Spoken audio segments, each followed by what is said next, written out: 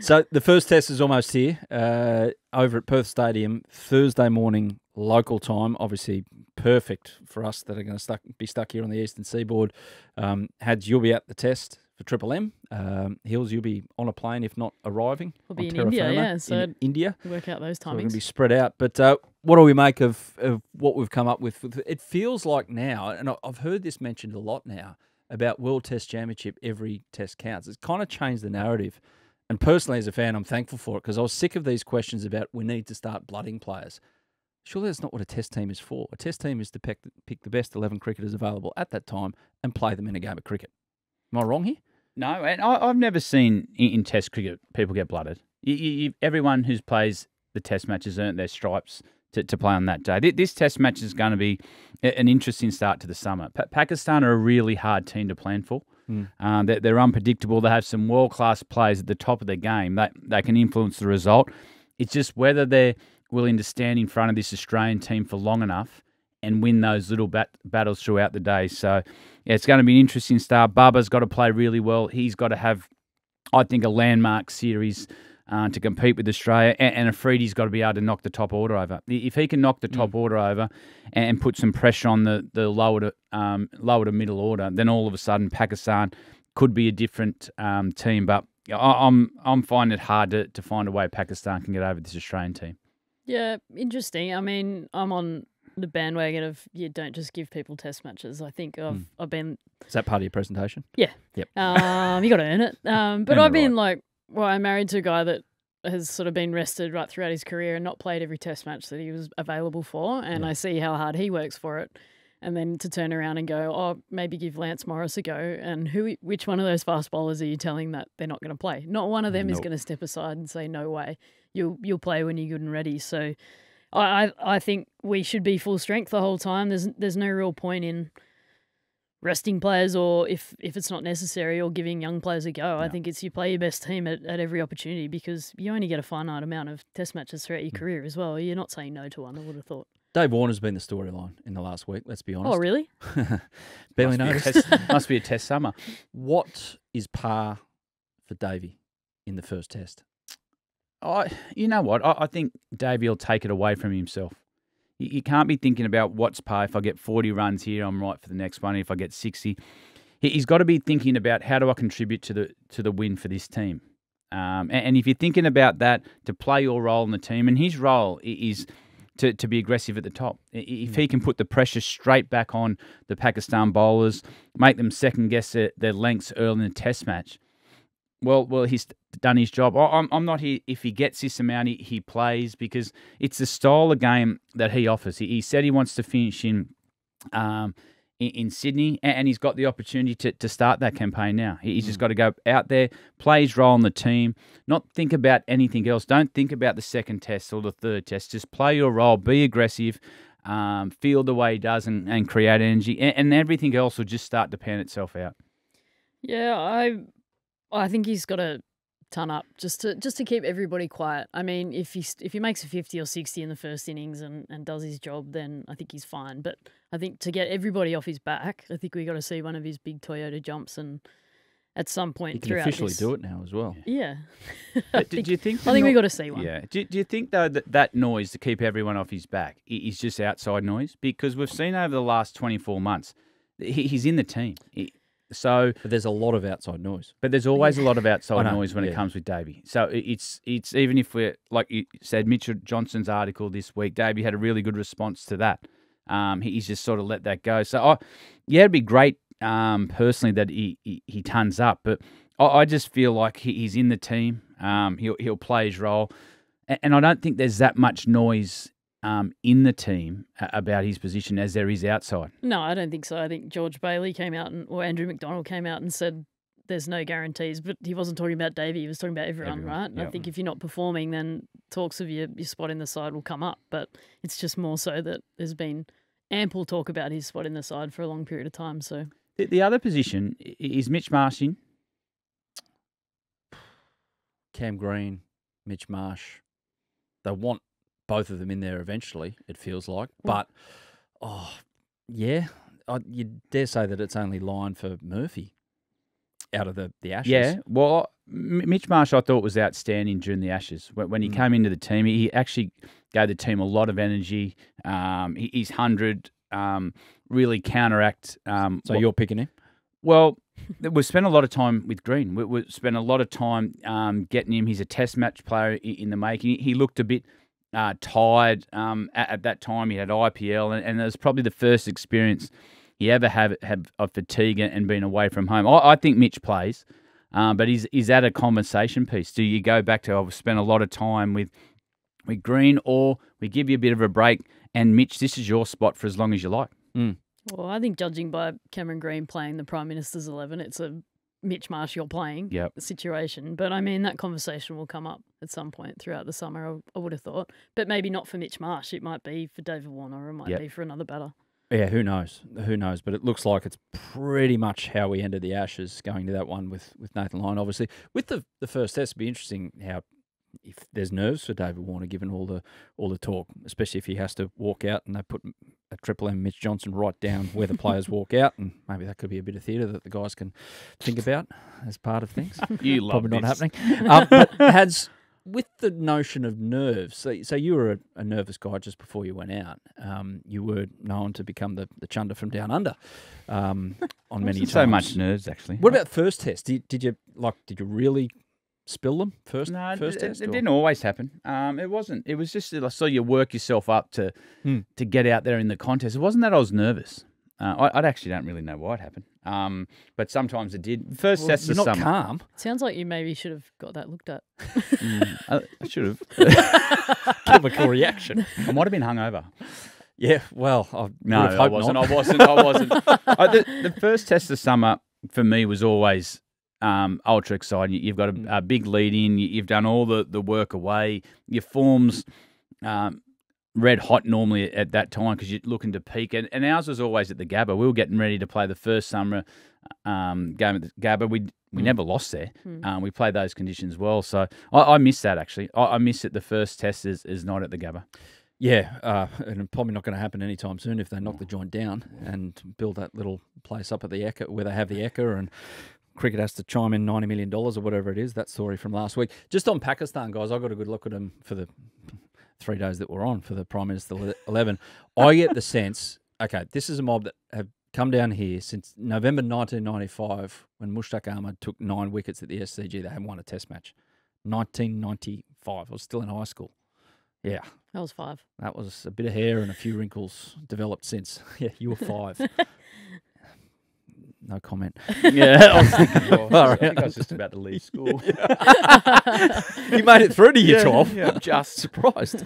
Um, so it's been so long. It's 14 losses on the bounce.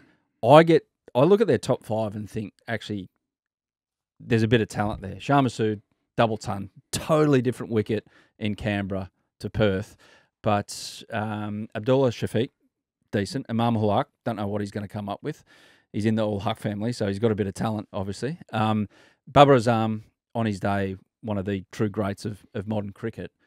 And Saud Shakeel, who's an improving player, Mm. who's made five his own. So if they they can navigate our battery of greats, the four of them, maybe, maybe, but I just can't see their bowling unit getting Yeah. getting twenty wickets. The batting's not the problem; it's their Okay. bowlers. I mean, when one, when two of their quickest bowlers in the country, one doesn't want to play and the other one's injured, it makes it Mm. really, really hard for them. They've literally just relying on Afridi to come in and take early wickets. You never know; they might come up with with someone that that does come out and um and take wickets. But I mean, as soon as someone like Haris Rauf said, "No, I'm not playing. I'm play the big bash instead." Mm. It makes it really hard for them because he's he's the X factor, right? I mean, it Mm. he's going to put a little bit of fear into the Australian batters, whereas that lineup doesn't really seem very fearsome at the moment. especially without Ab, uh, Abrar Ahmed, who injured himself in Canberra. Now he's a. If you haven't seen him, he's only played a few tests, but he's got he, on debut against England. He had five wickets before lunch. Now England were trying to hit everything to India. there in Pakistan, but still, he's he's a talented bowler. He's uh, he's going to miss the There- first there's- test at yeah, least. there- there's no question about Pakistan's talent. We, we, we can't sit here and say they're not talented cricketers. And you can go through one to five, you can talk about their bowlers. It's just whether they've got the appetite to do those little things for a long period of time against this fast bowling unit. Mm. You got left arm that bowls around at 140. You got um, Hazlewood's line and leg. Um, Camo can play different roles, but then you got Nathan Lyon. It's well whether they can stand in front of the Australians for long enough and, and compete, A- and that's that's been the question all the time. Pakistan's team always come out with, with talent. They always come out with a lot going on off the field. They've changed their backroom staff, so nothing's happened. Nothing's different's changed. Mm. It's just well that this team has the appetite to stand in front of Australia for long periods of time and, and make a difference in these conditions that are so foreign to them. Nothing different's changed. Trying to get my head around that one. Yeah, you know what I mean. Yeah, I know what you mean. I know what you mean. Uh, were you happy with him saying that Mitch around 140s there, not consistently over 140? He's 33. He's Yeah, aging. he's, he's coming back. But what- Apparently, they're all too old at the minute. Yeah. So, Well, well, the we'll point wait of and it see all- what they pull up with. yeah, the point of it all is is they're talented, Yeah. but w- whether they'll stand in Yeah. front of the and, and win those little moments where you have to in Test cricket, that's what we all doubt. PM's 11 from Australia's perspective. I mean, it's heard of as a, maybe a, an audition for that opening spot, and Matty Renshaw, uh, 136 not out. It wasn't a glorious innings, like a, an oil painting of an innings, but he, he grafted an innings out, which was very impressive. Powers of concentration, batted all day on day three. But um, anyone jump out? Like, was it Renshaw the story out of that one for from an Australian perspective, or was it as you were type feeling? I don't know. Yeah, it was a bit of a nothingness, and I, I mean, he made hundred, so we shouldn't really say that. But it was touted as like a bit of a bat off, and then Mm. everyone sort of did the same thing. So, yeah, I, I don't know. I I've always thought that Matty Renshaw would replace Warner. Like Yeah. that's genuinely who I've always believed. I mean, there's obviously some backstory with Cameron Bancroft, which might make it tricky for him to come back into the side, even though he's made a mountain of runs. It's always a little bit. No one's really sure what's going to happen there. Um, and Marcus Harris is sort of just churned out runs every year, so I don't know. But I always thought that Matty Renshaw had a little bit of flair in him that, you know, if you are going to replace someone like Warner, I, I thought that he would be naturally the, the person to go to. So that the scores in that game probably reflect the way I'm thinking about what changes might happen after the SCG test. Test series predictions. Just uh, let's get it back on this track, shall we? We're going to revisit these, of course. We're going to hold you to these. This is what happens with predictions. We kind of like record them. Producer Sam puts them all up, and Oh at the end of the series, Mm. basically says how stupid you look. It, like we haven't spoke to Greg Blewett after the World Cup, but he did say on the cusp of the World Cup that Rohit Sharma was under pressure and he's not. A, he, looks like he doesn't want to be captain anymore. and then that happened, so I Ooh. didn't quite have it. Shout out to Bluey. Hope you're well, mate, and hitting him well on the golf course. Uh, okay, Test series predictions. Day of the series, Nathan Lyon takes wicket 500. What's he on now? He's got four to go. Four to get. Day three. Okay. So we're going to bat for two days, and then he'll. Yeah. Uh, day two. I want Day to get him two. first. I'm going to say. I'm going to say Boxing Day. Boxing Day. Ooh. I'm going to say that the pace boys are going to dominate over there. Yeah, but you know what happens when the pace boys dominate? Yeah. You throw the ball to the spinner at the end and you say from seven, eight, and nine, say, listen, if you block Nathan Lyon for one ball, I'm going to bring the quicks back to Yeah. bowl bumpers. So Okay. you can either slog Lyon and get out or they're going to hurt you. Yeah, I think it's in morning of day two. Okay. We're bowl first. Number of wickets Lance Morris takes against Pakistan. Zero. Oh, listen to you two. Well, he's not in the team. yeah, fair enough. you got skin in the game over here as well. So, not that you don't want him in the team, you just can't No, see it happening I can't see it No, I happening. can't see that. At the moment. It does sound like he's next. Yeah, He's- of course. He's on the cab rank and he's got the next. well, he's like for like, right? I think if Mitch goes down, Lance plays. If Josh goes down, Scotty Boland might play. okay. I'm I'm assuming that's the way that they would lean. Mm-hmm. Fair enough. David Warner needs 178 runs to hold the record for the most test runs by an opener for Australia. Does he make it? Oh. Yes. Yep. I reckon we'll get Boxing him in the Day. first test. Oh, the First first, test? test. Like second, that. te- second test. Second test. Righto, I'll just I'll back spread him it all in. out. I'll go third test. Okay. SCG will do it. It's not a very good series if he doesn't get there. It's just quietly six digs and not 178 runs.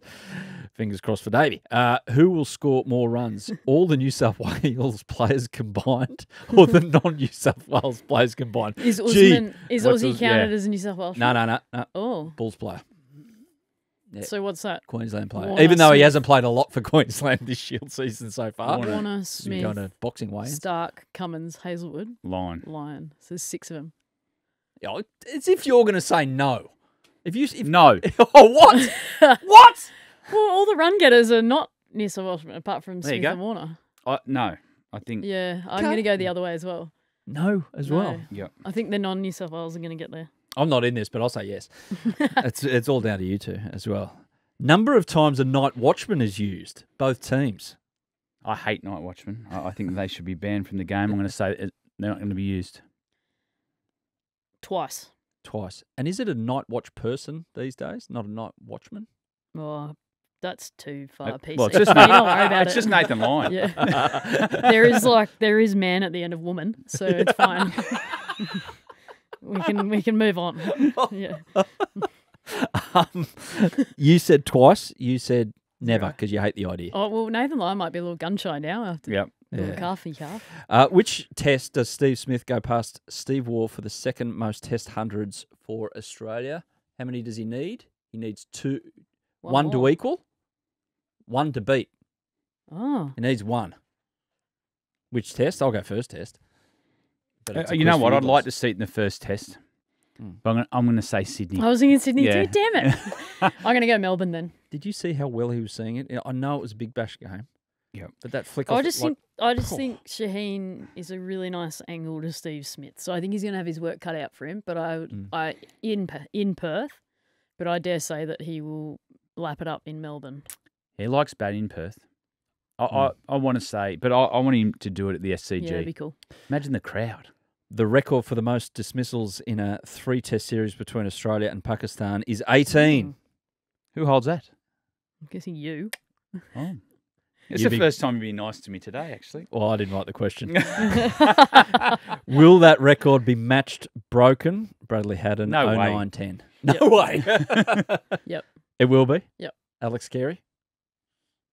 No, way. They'll hit the stumps. The the from six from seven down, they'll be outside leg. They'll just have to bolt the stumps. You won't get a chance to catch them.